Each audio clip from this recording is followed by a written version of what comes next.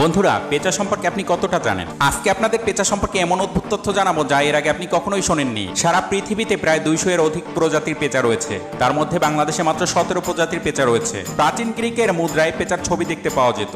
গবেষকদের মতে, পেঁচা আমাদের এই পৃথিবীতে ডাইনোসরদের পঁয়ত্রিশশো বছর আগে এসেছে। অর্থাৎ আজ থেকে প্রায় ছয় কোটি বছর আগে পেঁচার জন্ম হয়েছে। পেঁচার ঘাড়ের বৈশিষ্ট্য বিস্ময়কর। মানুষ সহ মেরুদণ্ডী প্রাণীদের ঘাড়ে ষাটটি অস্থি সন্ধি থাকে।